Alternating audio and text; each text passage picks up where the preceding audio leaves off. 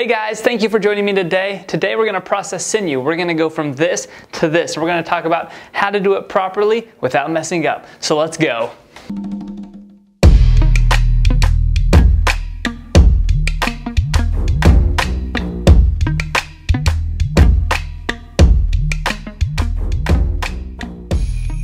Today we're going to be processing this sinew so that we can put it on the back of a bow for better performance. So the question is, you know, how do you get sinew? Well, there's a couple different ways to get sinew. One way is you can buy it online. There's a couple different places that you can actually buy it from people and you just purchase it. There's other ways though. You can shoot a deer or an elk, cut it out yourself and process it yourself. And if you choose that method, once you shoot the animal, you get this. The sinew is the tendon. It's in the leg and it's also in the back. Now the back sinew is a little bit longer than the leg sinew and that is the ideal, the best part. But you're gonna need quite a bit of sinew, probably about two white-tailed deer's worth of sinew to back one single bow, or you could have one elk's worth of sinew to back a bow. You could go to a deer processor and they'll normally let you, if you'll cut out the sinew yourself, they'll let you have it for free. If you have a friend that's a processor or you can just go ask them and they'll probably let you because they're just throwing it away anyway. Now that you've got your sinew, it should be like this, real hard, all dried out. Don't put it in water or anything once you get it.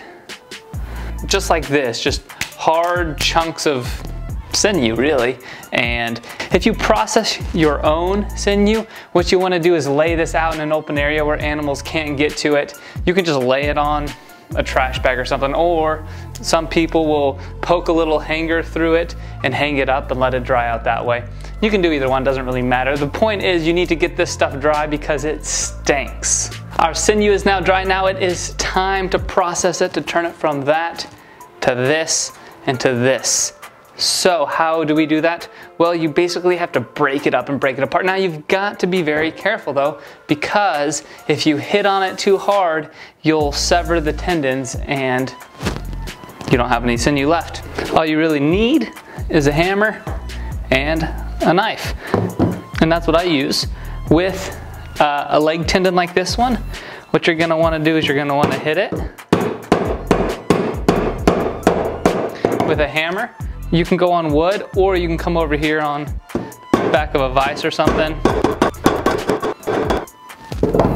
Now you don't want to process it too much, but once it's semi-flat like that, you can get your knife, stick it in the middle to give yourself a spot to grab and to pull apart.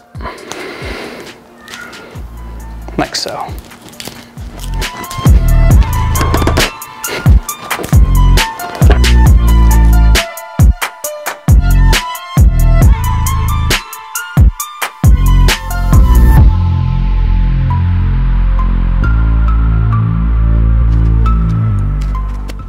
You're going to keep pulling this apart into little strands until it's about the size of pencil lead.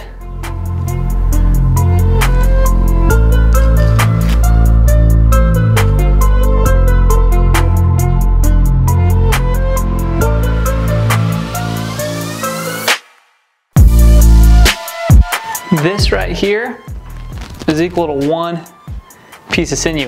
And so it really spreads out a lot. And then what you wanna do is you want to go and grab a piece of it and the next piece and line them up perfectly straight and continue that process on.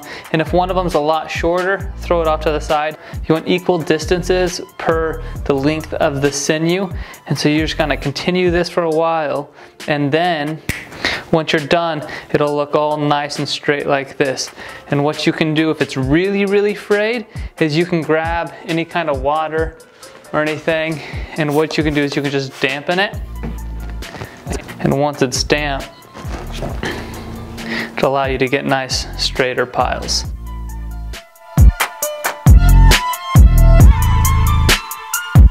Now with the backs back sinew there's no need to hammer it.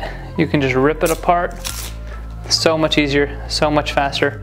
Plus, your strands are gonna be much, much longer, which is good for strength. I have got one, two, three, four, two leg tendons, two back tendons done.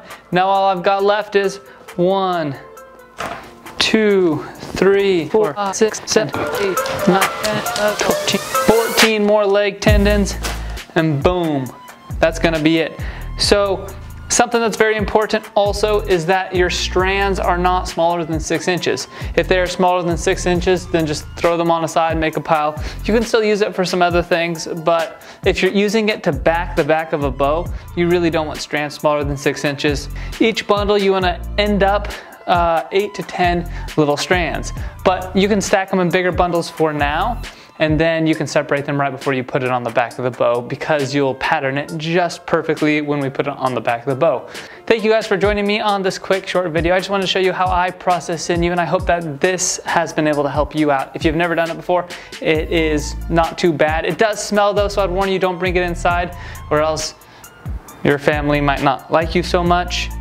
And I will warn you, it is gonna take you a while to process all the sinew. I did one thing in five minutes and I've got like 20 left. So we're gonna get to it. We're gonna knock all this out. But that is it for today because that's all I needed to show you. You guys can go process your own sinew now. Thank you for joining me. It has been a blast to have you here. As always, stay tuned because next Sunday another video is coming out and I have a bunch of really cool stuff planned as always. And if you liked it and if it was beneficial for you today, you could subscribe for me and I would appreciate that. And then I am going to use this sinew on a back of a bow and I'm gonna recurve those bow limbs.